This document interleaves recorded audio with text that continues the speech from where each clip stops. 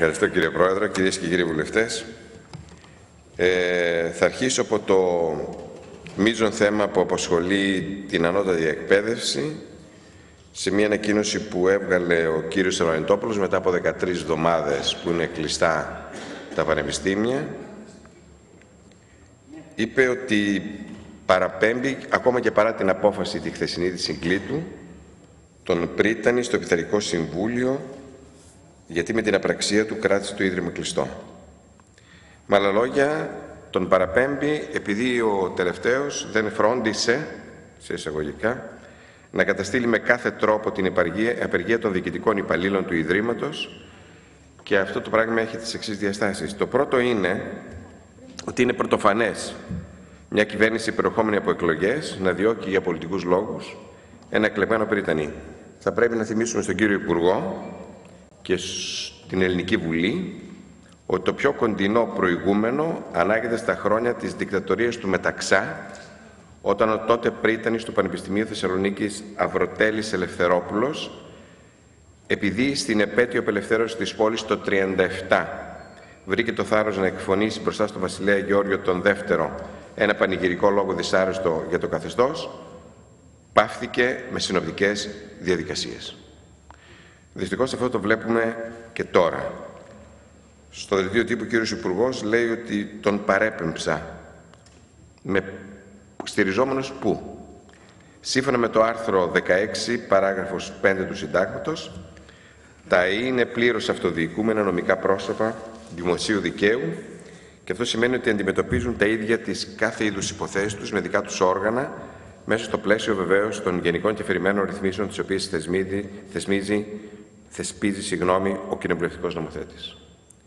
Πώς λοιπόν κινεί μια διαδικασία ο υπουργός; Και πρέπει να σας πω ότι εάν κινεί μια διαδικασία πέρα από το Σύνταγμα την κινεί με βάση το άρθρο 249, το νόμο 249 του 76, το οποίο είναι περί Πειθαρχικού Συμβουλίου Καθηγητών και Εφηγητών των Ανωτάτων Εκδοδρυμάτων. Τι λέει, λέει λοιπόν αυτός ο νόμος, ότι η πειθαρχική δίωση ασκείται είτε υπό του Πριτάνεως, είτε υπό του Υπουργού, δια του Πριτάνεως ή του επέχοντας θέση Πριτάνεως ή των ομίμων αυτών αναπληρωτών.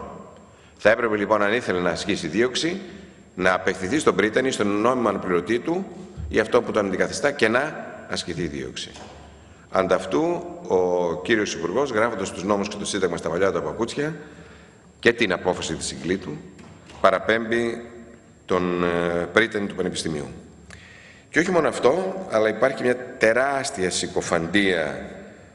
Είδαμε χιλιάδες απερίγραπτα πράγματα συνεπικουρούμενος και από τα ΜΟΜΟΕ, ώστε να καταρρεύσει η εικόνα του Πριτάνεως, ε, του Πανεπιστημίου εν γέννη, αγνοώντας ότι αυτή η διαθεσιμότητα των ε, διοικητικών υπαλλήλων κάνει ώστε τα, οι φοιτητές στη Θεσσαλονίκη να κάνουν μάθημα χωρίς καροριφέρ, πάρα πολλά ερευνητικά προγράμματα να μην προχωρούν, πάρα πολλοί φοιτητές να μην μπορούν να πάρουν ε, πιστοποιητικά και χιλιάδες άλλες παρενέργειες, γιατί όπως έχουμε πει και άλλη φορά, το ζήτημα δεν είναι να ανοίξουν τα πανεπιστήμια, αλλά να ανοίξουν εν λειτουργία και με όλη τους την απόδοση.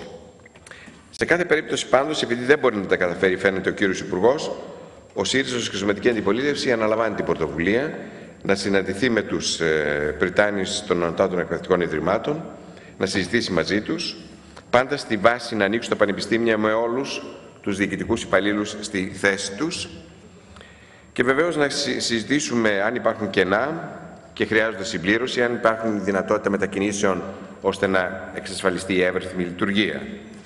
Και επιπλέον ζητάμε και από αυτό το βήμα, σήμερα μίλησα με τον πρόεδρο της ε, Βουλής, να υλοποιηθεί επιτέλους το αίτημα το οποίο έχει υποβάλει ο ΣΥΡΙΖΑ και άλλοι βουλευτές από την ε, αντιπολίτευση, ώστε να συγκληθεί η Επιτροπή Μορφωτικών Υποθέσεων για να συζητήσει το πελώριο αυτό ζήτημα. Τώρα από τα υπόλοιπα τα ζητήματα θα ήθελα να πω ότι ο κύριος υπουργός, παρόλο που τρεις μήνες μετά την έναρξη των μαθημάτων υπάρχουν πάρα πάρα πολλά κενά, παρόλο που έχουν απομακρυνθεί πάρα πολλοί καθηγητές της δευτεροβάθμιας εκπαίδευσης, κυρίως της τεχνολογικής κατεύθυνσης, εξακολουθεί να ε, ψεύδεται. Διακηρύσεις όλους τους τόνους στα ραδιόφωνα και στις τηλεοράσεις ότι από τους 1.900 που έχουν τεθεί σε διαθεσιμότητα έχουν τακτοποιηθεί οι 1.300. Πληροφορώ το σώμα ότι δεν έχει τακτοποιηθεί ούτε ένας. Ούτε ένας. Όπως επίσης, παρόλο που έχουν δικαιωθεί σχολικοί φύλακες, ε, επίσης δεν έχουν επανέλθει στην ε, θέση τους. Πάνω σε όλα αυτά, θα έλεγα ότι ο ΣΥΡΙΖΑ ζητάει να καταργηθούν όλοι οι μνημονιακοί νόμοι που αφορούν την παιδεία. Επίσης, ζητάμε το πάγωμα των καταργήσεων συγχωνεύσεων τόσο στη δευτεροβάθμια εκπαίδευση όσο και στην τριτοβάθμια. Εμείς έχουμε υποσχεθεί ότι δεν αναγνωρίζουμε τις διαθεσιμότητες σε όλα τα επίπεδα που αφορούν την εκπαίδευση, συμπεριλαμβανομένων και των σχολικών φυλάκων.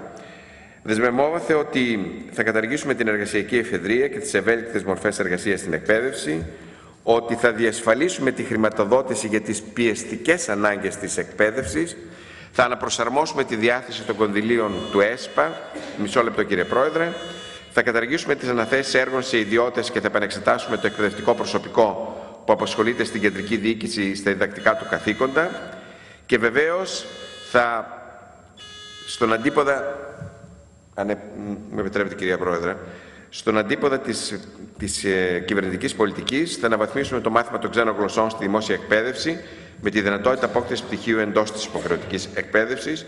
Θα αναβαθμίσουμε το Λύκειο σε ενιαία αυτόνομη μορφωτικής βαθμίδας με την κατάργηση των γενικών εξετάσεων και τη δυνατότητα μετάβασης προς την ελεύθερη πρόσβαση στην ανώτατη εκπαίδευση, πράγμα που σημαίνει ότι θα μειωθούν οι δαπάνες των οικογενειών για φροντιστήρια. Τέλος, θα έλεγα ότι βασικό στοιχείο του προγράμματός μας είναι η αποκατάσταση της αξιοπρέπειας των εκπαιδευτικών, οι οποίοι θα έχουν τον κύριο λόγο για τη θεσμική επεξεργασία ενός νέου καταστατικού χάρτη για την παιδεία. Κυρίες και κύριοι της κυβέρνησης, πλησιάζει η ώρα που όσοι περιπέζουν τον αφισβήτητο αγαθό της παιδείας και τους λειτουργούς τους θα βρεθούν σύντομα στο περιθώριο. Σας ευχαριστώ. Ευχαριστούμε κύριε Κουράκη.